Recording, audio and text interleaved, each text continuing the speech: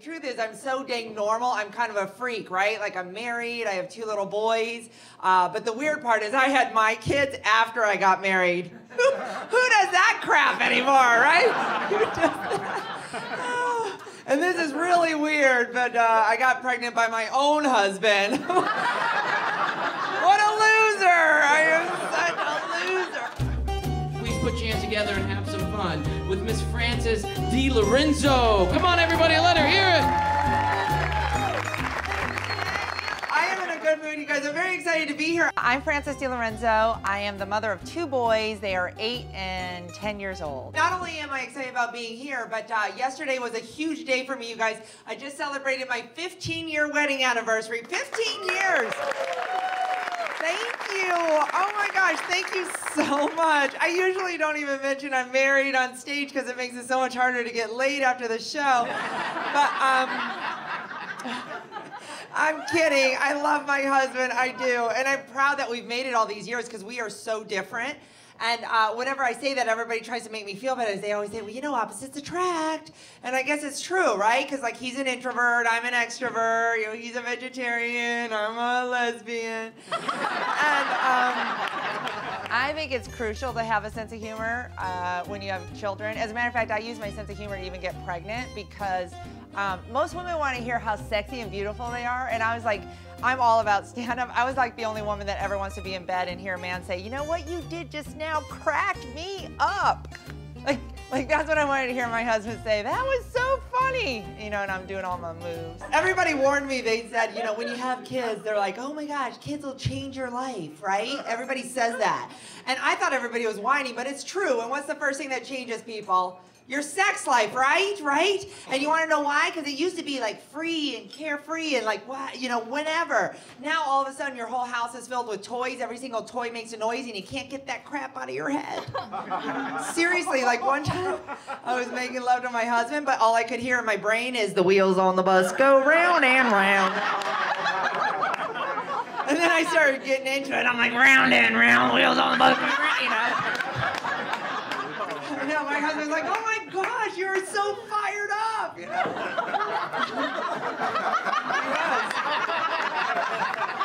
he was. He was very excited about it, you know. But I was like, I just want to finish the frickin' song.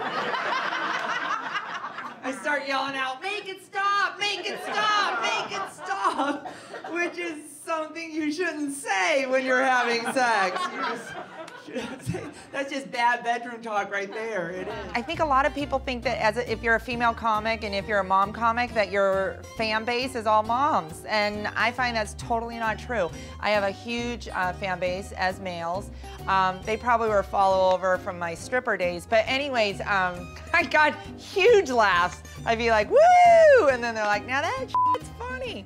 But anyways, it worked. I'm not gonna lie, I always screw up the bedroom talk. I do. One time I heard myself say, good boy!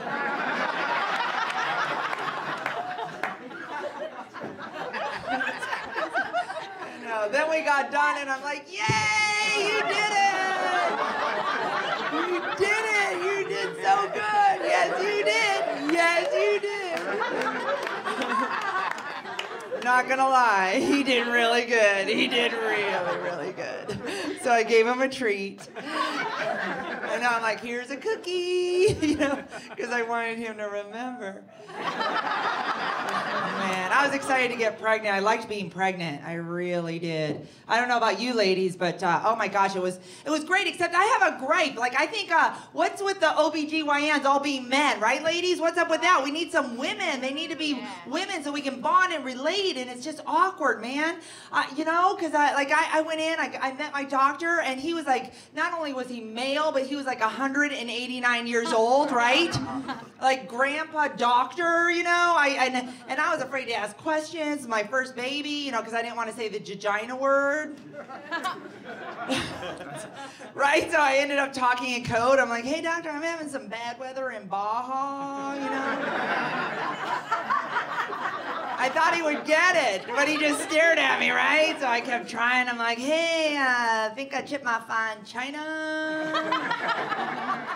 There's bad guys in my basement. It was crazy. It went on and on and on. So the second time I got pregnant, I didn't want to go through that again. So I demanded a new doctor, thinking they'll send in a female I can bond and relate and chill out.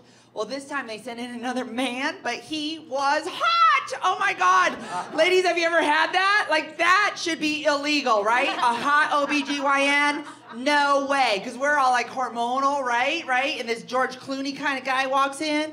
And oh my God, not only was he handsome, he was charming. Because after my first visit, he puts his hand on my back to help me sit up. And he's like, okay, I'll see you in two weeks. I'm like, oh my God, I think he likes me. oh my God, it was crazy. So now every appointment is more like a date. You know, I had to do hair, makeup, fishnets, and.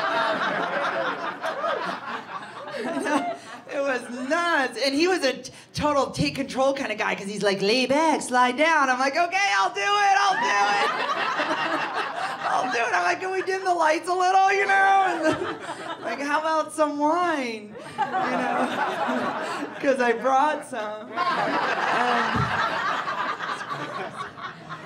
That's the type of stuff you start talking to your girlfriends about, right? Right? Girlfriends. Oh my gosh. Girls, we love to talk, love to talk. Man, women go a little crazy when we start talking to each other. It's either we're at a bar having a drink, or um, women, you get a phone to their ear, you turn up upside down, they never stop. It's starts in the teenage years, and moms in the department store planning birthday parties. Get off the phone in the department store, ladies. You're embarrassing me.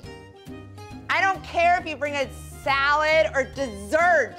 Let me look for shoes. But I'll tell you what, women are a little messed up on the phone. I don't know what it is. It starts in teenage years. Guys keep it simple. Have you ever seen like teenage boys talking on the phone? They don't even use sentences, they just make sounds. Have you ever noticed that? You guys aren't big talkers, are you? Right? You get two guys on the phone, they're like this, they're like, hey, sup? Going? Eight later. right? They just make sounds and they know exactly where, when, and what kind of beer to bring, you know? You get teenage girls on the phone, though. Oh my gosh, they turn into rambling contortionists. Have you ever seen that? It's like, oh my gosh, Cindy, I haven't talked to you in so long, and so much has happened since this morning. I went to the mall. And I got this really cool blue skirt, and I was like all excited, except for when I got home, I realized I should have never got blue, because ever since Mark and I broke up, oh my god, my legs are so white. Anyways, that's what I realized. I ran into Lynn at the mall, right? And she is three days late. And I can't even believe that she's three days late because, oh my God, she is too ugly to even get laid. But that's when I was thinking, like, what? What? Oh, okay. Well, when Cindy gets home, could you tell her I called?